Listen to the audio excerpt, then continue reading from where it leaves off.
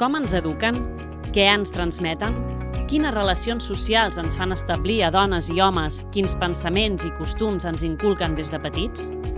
Vivim en societat i en societat aprenem.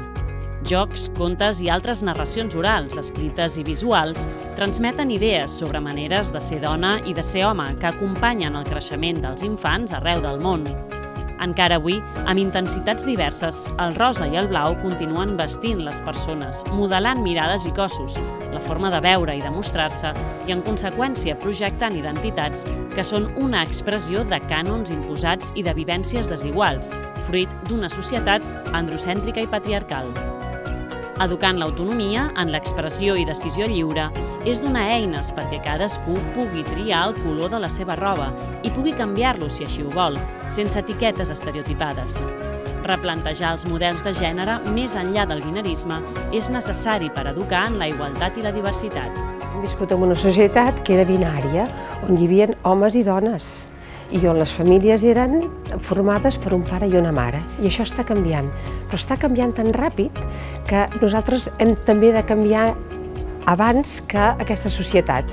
I des de l'educació, des de les escoles, per exemple, els impresos, encara podem posar pare i mare? No, perquè hi ha famílies que no són pare i mare. I no estem discriminant, no, però la persona correcta sí que se sent discriminada. Eh? Aquest és el tema. Hem de canviar el nostre mapa mental i hem de construir un mapa mental amb diversitat familiar, amb diversitat d'orientació i, i, amb, i amb diversitat per identitat. I això és una gran oportunitat perquè la diversitat sempre és una oportunitat per canviar, sempre.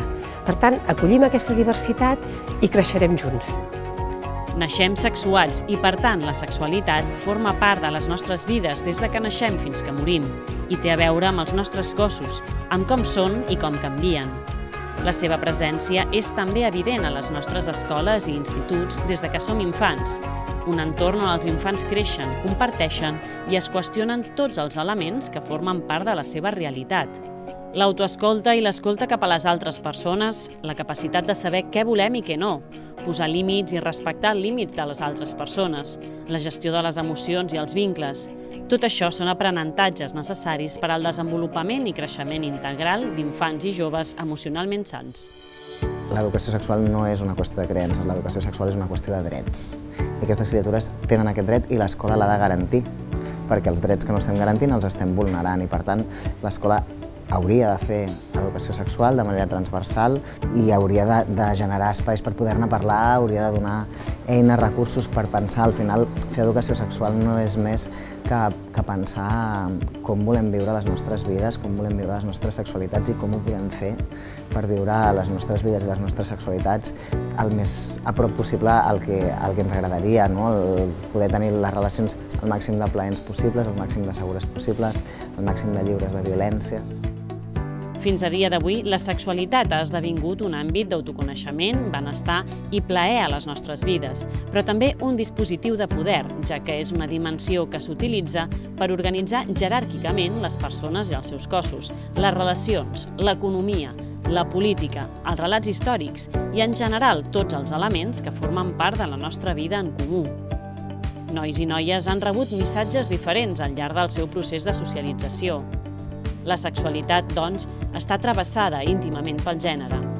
Nosaltres sempre diem que, que fer educació sexual és molt important i que no, tant, que no ens val qualsevol educació sexual, que necessitem una educació sexual en perspectiva de drets i una educació sexual en perspectiva feminista, no? que entengui que vivim en un món desigual, que aquestes criatures ja estan rebent missatges desiguals al voltant de la sexualitat i la nostra funció com a educadors i educadores és poder contrarrestar aquests missatges.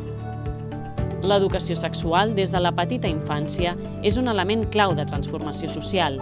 D'una banda, ens permet identificar i fer una anàlisi estructural de les violències que es donen en aquest àmbit i d'una altra, plantejar alternatives, resistències a aquests models.